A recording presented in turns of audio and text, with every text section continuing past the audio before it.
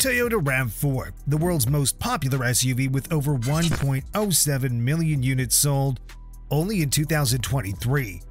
Who would have thought that such a revolutionary design approach would need just three decades to obliterate traditional car designs? Sedans are almost dead. Hatchbacks aren't doing much better either. High-performance coupes have been replaced with high-performance SUVs. Rich men from around the world are not enjoying the comfort and luxury of stretched saloons, they drive in massive SUVs. Today's world is dominated by SUVs, and it all started three decades ago, when visionaries from the Japanese giant made a brave move and set new standards in the automotive market. This is the story of the RAV4, a car that changed everything. Stay with us as we walk you through the history of one of the models that put versatility in the spotlight, a model that offered a little bit of everything. But first, make sure to like, share, and subscribe to our channel and ensure yourself a regular dose of car reviews, previews, and comparisons, as well as some of the most exciting stories from the automotive world. The era of diversification. This story begins in the late 1980s and early 1990s. Back in the day, the American automotive market was getting more and more colorful. Manufacturers from different parts of the world were coming to take their piece of the world's largest market. The Japanese were already established with their fuel-efficient and reliable cars. Germans were at their peak, while domestic automakers were dominating the scene. But when it comes to body styles, things were rather unison. The market was all about sedans and models like the Ford Taurus were leading the pack. Small hatchbacks also had their share, just like coupes, but the most interesting things seen back in the day were models like the Jeep Cherokee and Ford Explorer. With the rise of their popularity, it became clear that SUV body styles are no longer reserved for remote areas with challenging on and off-road conditions. Customers across all states figured out that these body styles are also quite practical, Generous with passenger and cargo space, they had the potential to become perfect family haulers. But the SUVs of that era were large and heavy. With their body-on-frame platform, they weren't particularly easy to drive, while their engines were fuel inefficient and not particularly easy to maintain. But someone in Toyota was smart enough to see their potential in this dawn of the new automotive segment. The Japanese were thinking, why wouldn't we make something similar, just way more cheaper, more reliable, more efficient, and most importantly, easier to drive, just like we did with passenger cars? The concept was already presented at the 1989 Tokyo Motor Show. It looked compact and very car-like, but still with typical SUV proportions. Something looked odd about it, and then the media got the information that this wasn't a typical SUV of the time. Instead of a traditional, truck-based design with body-on-frame construction, this concept was built on a unibody platform.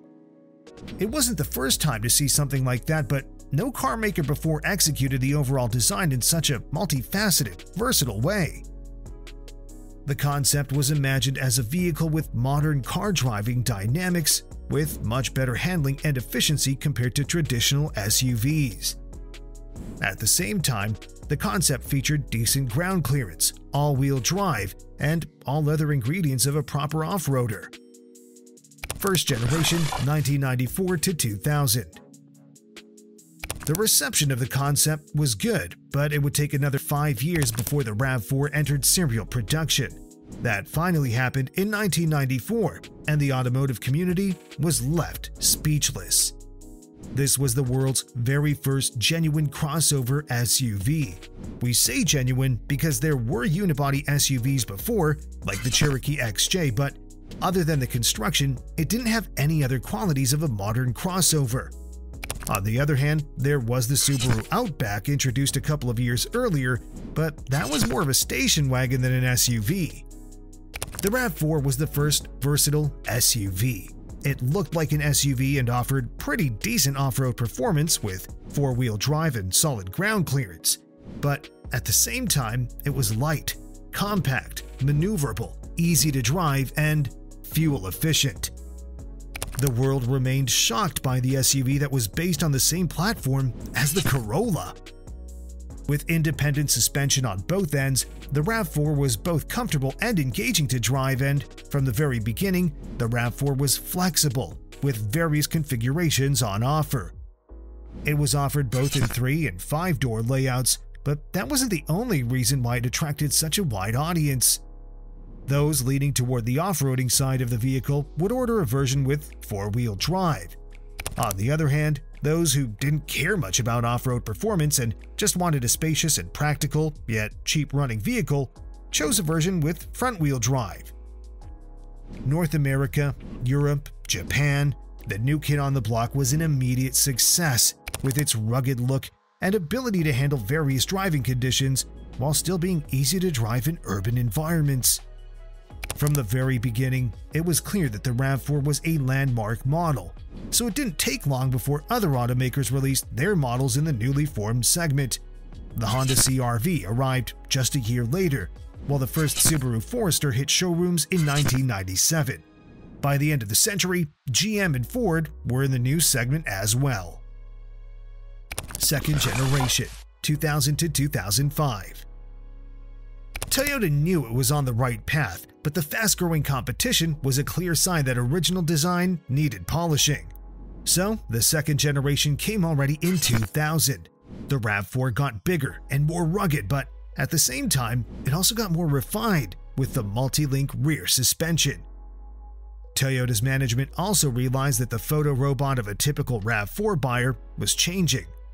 Off-road performance still played an important role, but customers also wanted more luxury and convenience. Compared to the original, the second generation went upscale. For the first time, it got leather upholstery and power-adjustable seats, as well as a sunroof.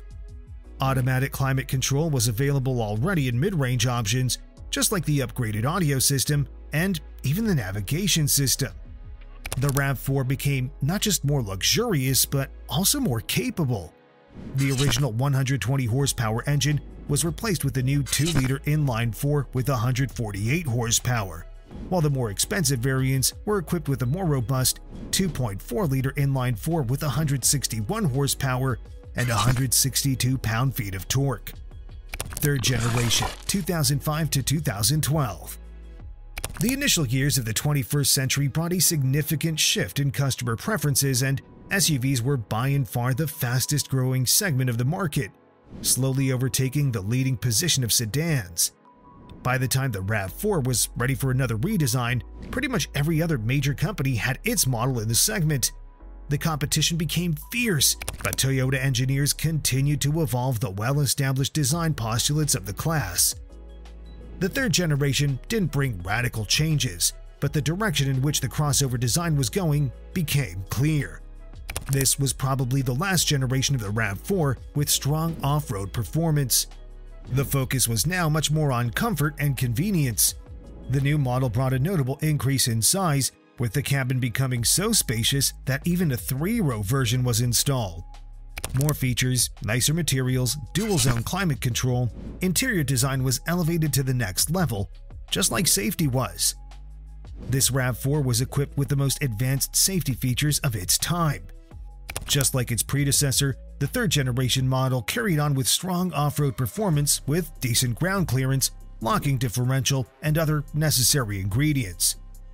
But besides efficient powertrain options, it was even offered with a massive 3.5-liter V6 with nearly 270 horsepower.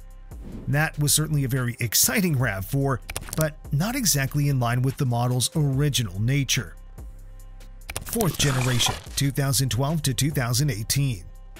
The fourth generation arrived in 2012 and continued with the course that was set with the previous redesign. It became even bigger and even more luxurious. It became heavier, less maneuverable, and less off-road capable. It traded off-road potential for comfort, and even though that was accepted very well by the masses, purists were not happy. The new RAV4 became something different. Then, the second production year came and brought the most radical change of the generation. This was the first time to see the RAV4 equipped with Toyota's trademark technology. This was the first RAV4 with a hybrid powertrain. The new system consisted of a 2.5-liter inline-4 engine and electric motors for a combined output of 194 horsepower. It was capable and, at the same time, the most efficient model in the class. Fifth generation, 2018 to the present. Just when we thought that someone could endanger the RAV4's leading position on the market, Toyota released the fifth generation and cemented its dominant position. Although with less interest in off-roading than its predecessor, the fifth generation attracted the widest range of customers and set record high sales figures. A big part of the reason was design, as the new model looked bold and aggressive like never before. It also continued to improve in terms of comfort and convenience. The cabin became even more luxurious, while Toyota engineers implemented some of the most advanced safety systems as part of the now well-known Safety Sense suite. Under the hood, the new generation continued with gasoline and hybrid versions on offer, but then the 2020 model year came and brought a plug-in hybrid version to the offer with over 300 horsepower. The RAV4 cemented its position as the most well-rounded SUV in the class, with more focus on fuel efficiency than ever. And such a well-rounded package ensured that the current generation is still going strong and still marks excellent sales results six years after the launch. That's clearly the reason why the Japanese manufacturer is in no rush with the new generation, though it all indicates that the sixth generation is around the corner. For now, the officials are still quiet, but we have no doubt that the RAV4 will continue to set new standards and be the frontrunner in the most competitive segment in the automotive industry. Does this inevitability lead to an all-electric version, or Toyota is about to continue insisting that EVs, especially in such a competitive segment, have no future? We should soon find out. What do you think of the next generation RAV4? Will it get an all-electric version, or maybe it could come as hybrid only? Let us know in the comments, and don't forget to subscribe. Thanks for watching, and see you next time.